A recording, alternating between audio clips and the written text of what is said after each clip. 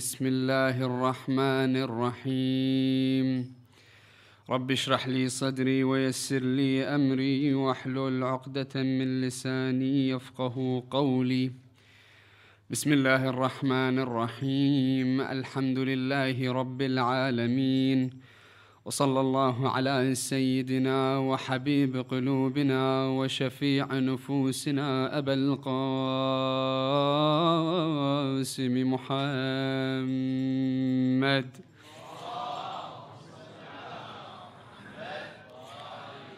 وعلى آل بيته الطيبين الطاهرين المعصومين. لا سيما بقية الله روحي وأرواح العالمين لتراب مقدمه الفداء. Amma respected scholars, elders, brothers and sisters, Assalamu alaikum wa rahmatullahi wa barakatuh. Insha'Allah, as we commemorate the tragic, tragic incident of the desecration of the shrines of our beloved imams that are located in the sacred lands of the Baqiyat tonight, we want to send our heartfelt condolences first and foremost to our Imam, Imam Sahib al Asri Zaman, as such a tragic, tragic event. And inshallah, tonight we want to look into particular aspects relating, inshallah, to the desecration of these holy shrines. What may have led people to do so? And why is it important to look, to look into and defend the aspects which are upholding and elevating the shrines of the Ahl al Bayt and the pious people. And inshallah, tonight we want to look at this topic and try to give this topic its essence in five particular stages. First and foremost, we want to look at the importance of such events. Secondly, we want to take the Islamic perspective on two particular aspects. Number one is the time, the importance of time. And inshallah, the importance of a place. So that's three. Four, we want to look at the tawheed of Allah subhanahu wa ta'ala. And how is it we can relate tawheed with elevating and upholding such shrines, such places, places of worship? And on the reverse angle, how is it that it's kufr to go against such sha'ar. Now that's number f- five, and finally, inshallah, number five, we want to look at a particular verse in the Holy Quran in which Allah subhanahu wa ta'ala says, in houses that Allah has instructed that they be elevated and His name remembered. And that's from chapter 24 of the Holy Quran, sign or ayah number 36.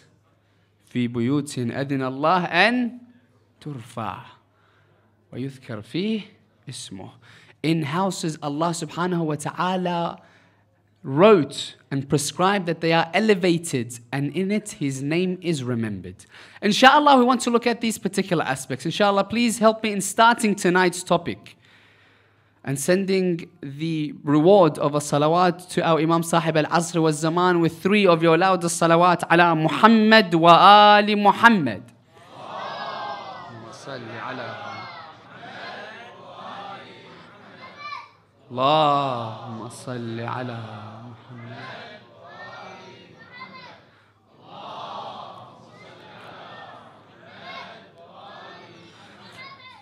As we see within every single religion that may come forth, from the time of Adam والسلام, up until the final messenger. Up until nowadays, there is an importance and a significance that we can see that every single religion that has come has in either the time frame or the places of worship.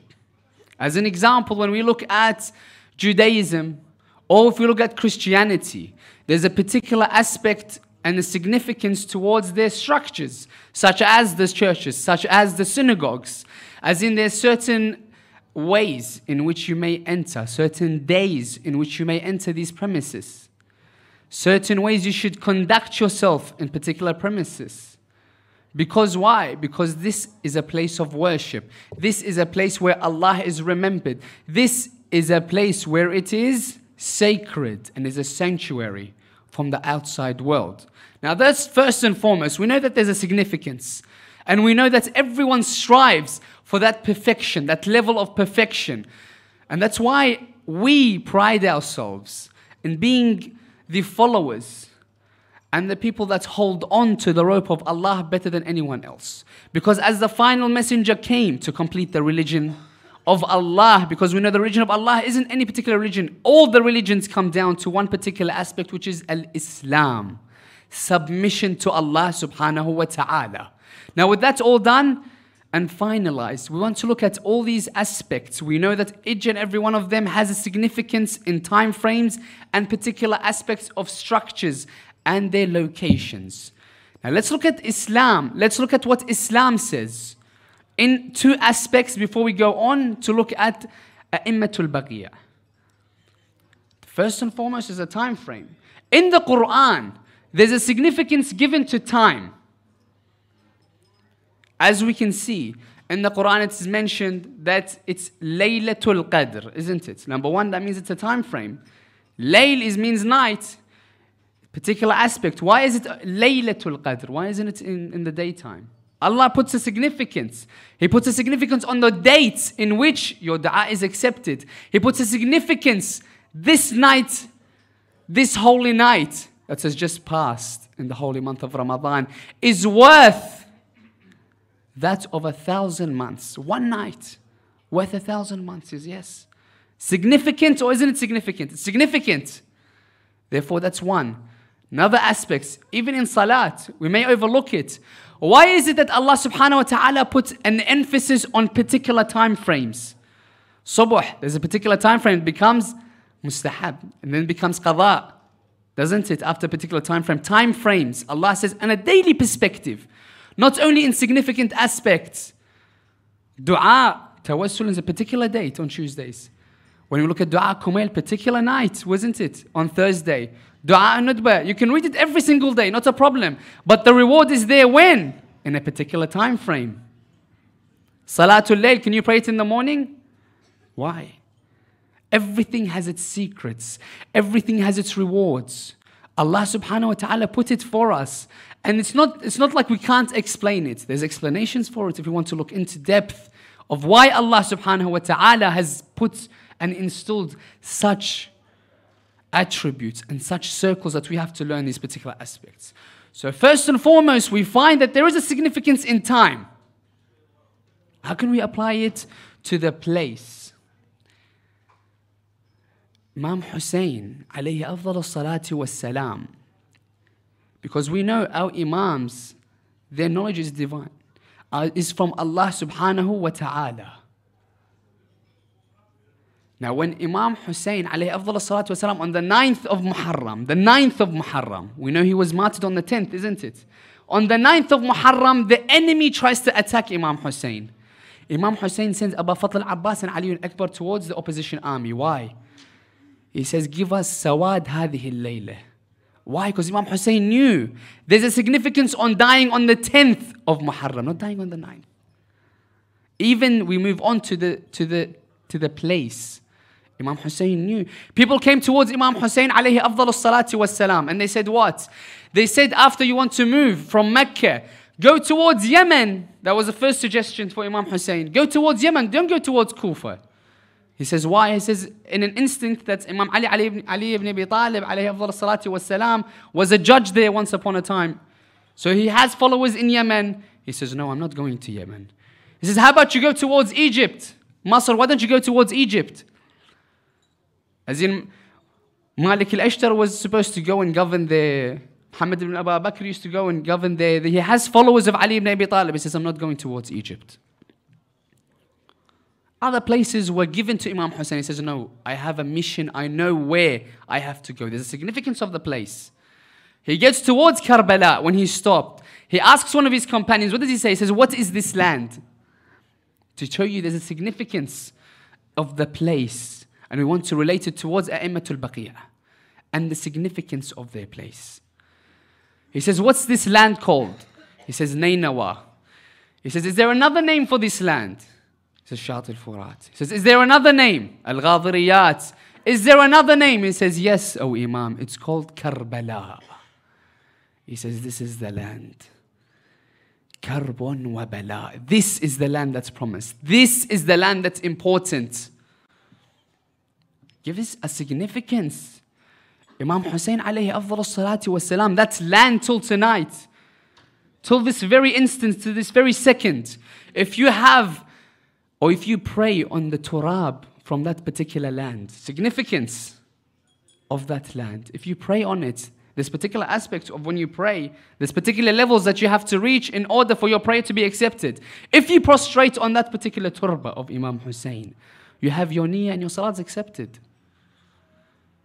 A blind man comes towards Imam Hussein's shrine to show you the significance of, of this particular haven on earth. He comes towards it and he takes a bit of the sand and he smells it he says, This is where Imam Hussein's buried. The person looks at him and says, How do you know? You're blind. How do you know this is where Imam Hussein's buried? He says, I've been working with fragrance my whole life. He says, I know after 20 years of working with fragrances, this fragrance is not from this earth. This fragrance is from the heavens. Sallallahu Muhammad.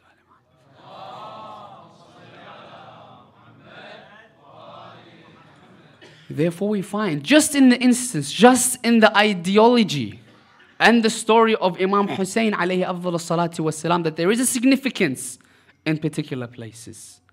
There is. Number one, there's significance in time. I'm trying to cut it really short, inshallah, within the time frame that I have tonight. But it's a very, very elaborate topic if we want to go into depth. But I'm trying to go over particular aspects in it to join it up and wanting to relate it towards A'immat al-Baqi' and the importance of upholding such structures. So there's significance in time, number one. Number two, there's a significance in a place. Now someone may come forth and say, well, and we have been attacked, saying, well, because you uphold such places, because you uphold such shrines, you are kuffar. Up until tonight. Isn't it why it was desecrated? Because they say, why? Because you go towards Allah through them you go and prostrate to Allah through them. You go and hold on to them and ask for Allah. Therefore, you are doing kufr and therefore we will desecrate it. Up until tonight. People still believe that ideology. Now, I want to take this and I want to analyze it and I want to defend it. And I want to look into the aspect of Tawheed. And I need everyone's concentration in its very finest tonight. Look at this aspect. Allah subhanahu wa ta'ala has given us praying, fasting, reading Quran, Hajj, Amr al-Ma'ruf, Nahi anil Munkar, ila akhirah. Yes? We have all these aspects that Allah subhanahu wa ta'ala says you have to do.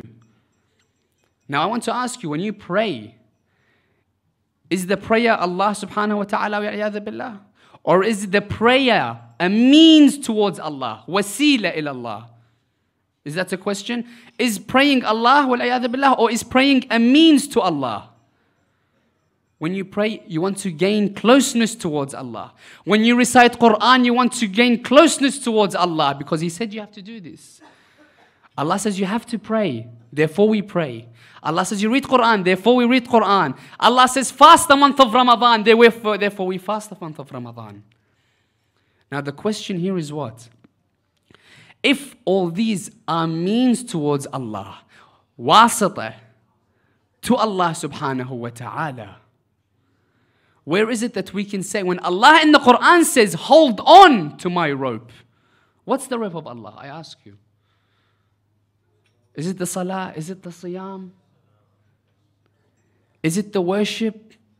Or when we look at the ahadith, Allah in the Quran says, hold on to my rope. That rope that Allah says hold on to is Muhammad wa Ali Muhammad.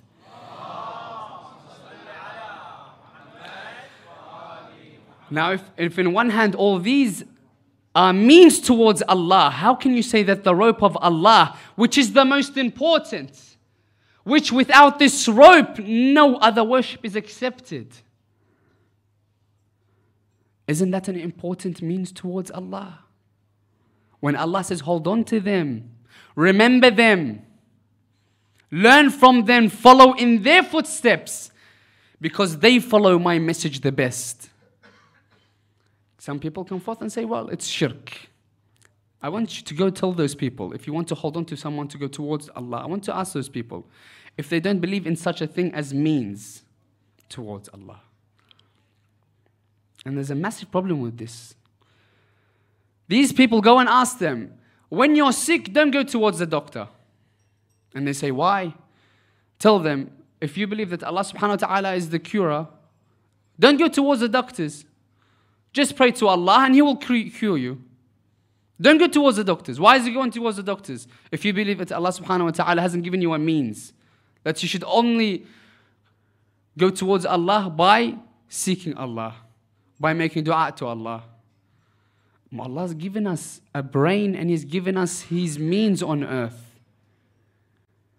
If you want to get a cure for your disease, Allah has given you a doctor to go towards to get cured. Who nowadays that's sitting here just says, Well, I'm sick, I'm not going to go towards the doctors. His critical sickness, he doesn't go towards the doctors. Everyone will go towards the doctors. Why? Because Allah subhanahu wa ta'ala has made it that way. That there are people that have this particular expertise, these people that have this particular expertise. The Ahlul Bayt have all the expertise. That's why we hold on to them. That's why we remember them. But the main aspect is not towards what? towards the madhab. It's in order to desecrate their shrines, so we may not remember them, so we may not go towards them and remember them, instilling what? The remembrance of Allah subhanahu wa ta'ala. It's all a chain. It's all a chain. It's a domino effect. And they think if you destroy one, you won't get towards Allah subhanahu wa ta'ala. You, they'll think if you desecrate their shrines, their names will not be remembered. But 1,400 years ago, that's what they thought. And in 1221, when they first desecrated the Baqiyah after death, AD, they thought that was the case. And again, in 1925, when they desecrated it once again, and they think what? That they will remove the remembrance of Allah's messengers on earth, of Allah subhanahu wa ta'ala's mirror images of his attributes, personification of his message on earth.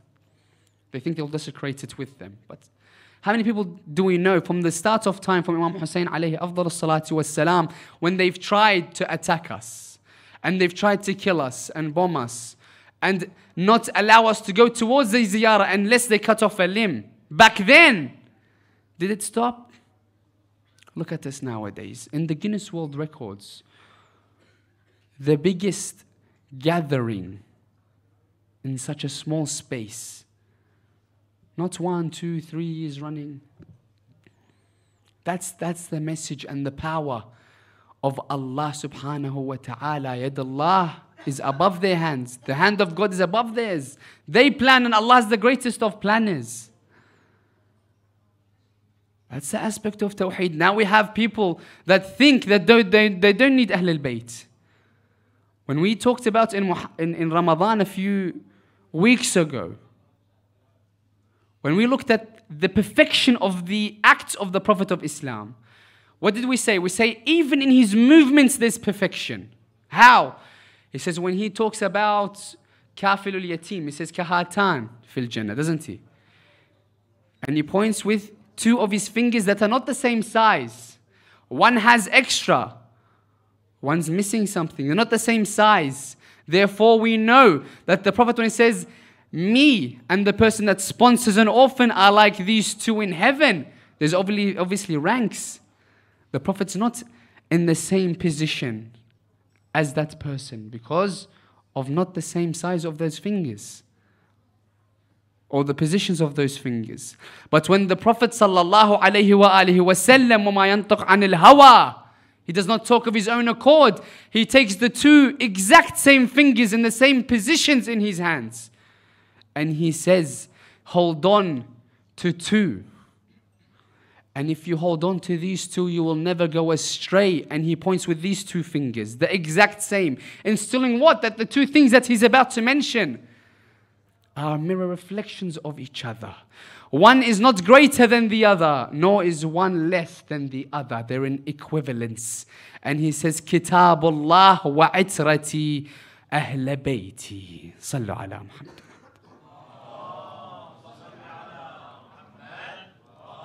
He says the same too. Because if you don't hold on to them and their teachings and follow in their footsteps, you'll have people like nowadays.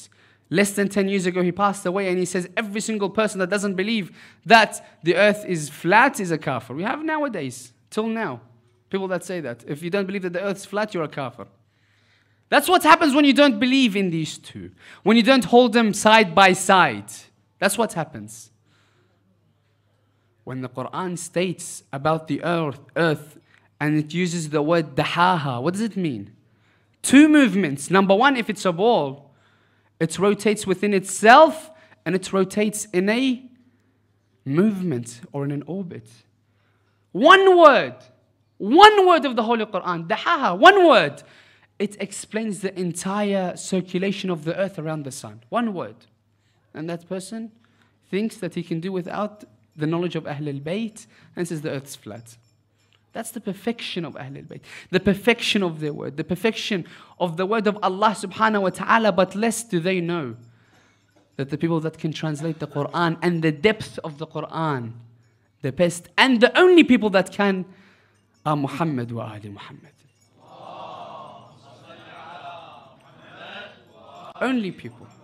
And that's why the people had knowledge of this. That's why they desecrated their shrines. That's why they tried to remove that which is Allah subhanahu wa ta'ala's place of worship on earth. When Allah subhanahu wa ta'ala says to Iblis, because people nowadays they say, No, do not worship in such places. Do not worship Allah or do not remember God in such places where people are buried. Do not remember it. People nowadays they say that's why they desecrated the shrines. I want to ask a question. Allah subhanahu wa ta'ala, there's a certain aspect between tawheed and kufr. Very fine line. He says to the angels, now think it with me. He says to the angels in the Quran, bow down to who? Who did he say bow down to? Adam. Now, nowadays, if someone bows down in submission to someone, is it that kufr or isn't it? It's kufr if you bow down to someone except for Allah subhanahu wa ta'ala. But when Allah says bow down to that person, it becomes tawheed or not? It becomes tawheed. Allah says to the angels, bow to Adam.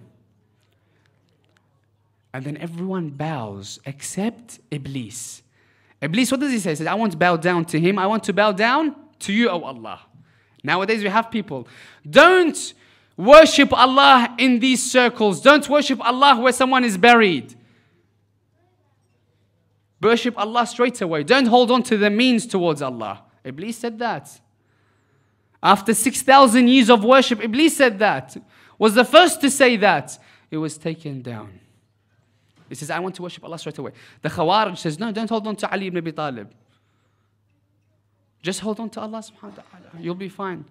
Well, Allah's telling you, hold on. Like that person that was about to drown. He fell off a, boat, as the analogy goes, one ship comes past, he says, No, Allah will save me. Another ship comes past, says, Allah will save me. Third ship comes past, Allah will save me. The guy drowns. He comes on the day of judgment says, Oh Allah, I told you to save me. I believed in you. Allah says, I, have sent you three boats. What else do you want? That's what we have nowadays, brothers and sisters. Allah's given us so many signs. So many signs to hold on to. People don't understand the aspect which is the wasila to Allah subhanahu wa ta'ala. As in, you have to know who Allah is. You have to know how Allah operates. You have to know the attribute of Allah subhanahu wa ta'ala. And when you know that, you'll begin to understand when Allah says, Hold on to my rope, the importance of that rope. Being the Ahlul Bayt, being the people of the book. وَاسْأَلُوا أَهْلَ الذِّكْرِ Who is the dhikr? The dhikr is in the Quran is mentioned. As who? As the Prophet of Islam. The family of the Prophet is Ahl al-Dhikr. Then who do we have to go and ask? Who do we have to go and learn from? When Abu Dhar is asked, is asking the Prophet, says, O Prophet of Islam. He says, How can we attain a greater rank amongst the companions? I want to elevate ourselves. Don't we all want to elevate ourselves? I want to become higher in the eyes of Allah. The Prophet says, Go outside and you'll see how you can elevate yourself. He goes, he says, Ali ibn Talib walking, he sees Salman al Farisi or Salman al Muhammadi walking after him. Looks at Salman, Salaam alaikum, alaikum salam. What's happening? He says, You're walking awkwardly. He says, Ali ibn Talib just passed. He says, Yes. He says, What are you doing walking like that? He says, Look on the floor. Look at the footprints of Ali ibn Abi Talib. He says, I want to live my life in such a manner that wherever Ali ibn Abi Talib puts his right foot, I put my right foot. Wherever he puts his left foot, I put my left foot. That is the aspect in which the Prophet says to Abu Dhar to elevate yourself, you have to do as Salman does. That's what we have to take into our lives. And inshallah, I end by stating the verse in question. Verse from chapter 24, ayah number 36, in which Allah says, In houses that Allah has instructed to be elevated and His name be remembered in there. We look at particular narrations, not from our books. Not from our books. There's so many in our books. Let's look at the other schools of thought. What did they say? about this particular verse and who it is in reference to. Who is it in reference to? One of the people is known as a Tha'labi. In his book, he narrates in chapter 7, page 107, and this is being recorded.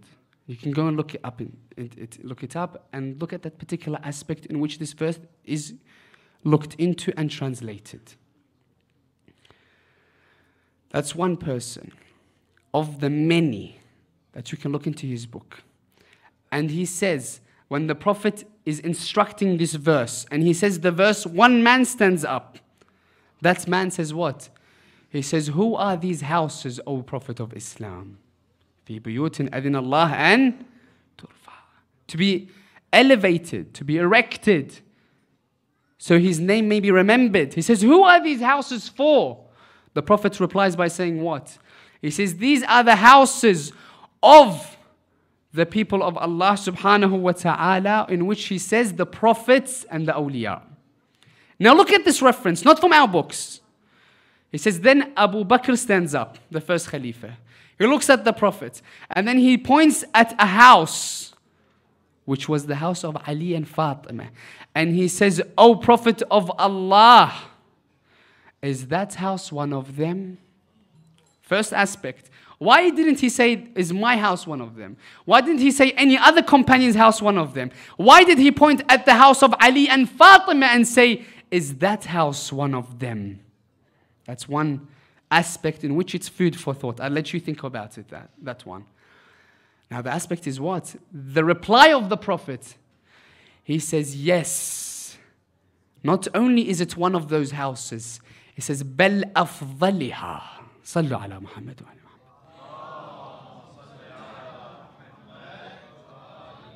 Inshallah, my time has come to a close, but I want to, inshallah, just wrap up everything for tonight. And I want to leave you for the wise words, inshallah, of the Shaykh. The aspect that we want to learn from tonight. The main aspect is why was this Baqi' and why were the shrines of the Baqi' desecrated? And we know now that they believe that this was kufr. They believe that in order to desecrate these shrines, they think that they will lose the remembrance of the people buried in there. Little do they know that one of the people that were buried is the person that was the teacher of all four of their schools of thought. Little do they know that one of the people that are buried in there is the person that the Prophet of Islam says he is Sayyidi Shabab Ahl Jannah, one of the youth, of the guardians of the youth of paradise. And, and, and, we don't have time to go and mention each and every one, but each and every one has a prominent position and a pulpit in which we, we can learn if we only hold on to one of them, it's suffice if we follow in their footsteps. Only one of them. And that's what they think. That's why it's our job and it's our duty from tonight to remember them. It's our duty to learn more about these people's lives because they have a madlumiyah. Because they have a madlumiyah. Why? Because they are not visited. I end on one note. Sheikh Ja'far Kashif al-Ghata, one of the greats, and I end on this particular story, and I have apologies for taking too much of your time. Once he says to himself, that's why is it that Fatima al-Zahra had three particular aspects in which she has buried. Three particular times that we remember Fatima al-Zahra. He says, I want to study to relate one particular time, one particular date in which we can commemorate Fatima al-Zahra's martyrdom. So he goes and he researches and researches and researches until he finds a particular time in which Fatima al-Zahra was martyred. The date of Fatima al-Zahra's martyrdom. And he's about to write the fatwa. He's about to write this particular aspect. His wife comes to him. Look at the beauty of this narration. His wife comes to him. He says, she says to him, Oh my husband, what's with you and Fatima al-Zahra? He's looking at his wife, he's thinking, how does she know what's, what I'm doing? How does she know what I'm looking into? He says, he says, why? What did Fatima al-Zahra tell you? She replies by saying, Fatima al-Zahra told me to tell you, do you think that it's too much that I'm remembered on three different occasions? She says, because I don't even have a grave where someone can come and visit me. Look at that narration, brothers and sisters. After that, Sheikh Ja'far left that particular aspect in honor of Fatima al-Zahra and says, yes, let us remember Fatima al-Zahra. In that aspect, let us remember these imams that have brought us everything that we have today. We want to remember them. That's the aspect we have to take from tonight, inshallah. When we pray to Allah on that aspect and that note, that Allah subhanahu wa ta'ala writes that the Imam Sahib al Asr wa Zaman can come so we can elevate these shrines again, rebuild such shrines so we may go and visit our beloved Imams, that we crave to go and smell the dust that is laying there. We pray to Allah with a Fatiha, but before three of your loudest salawat ala Muhammad wa ali Muhammad.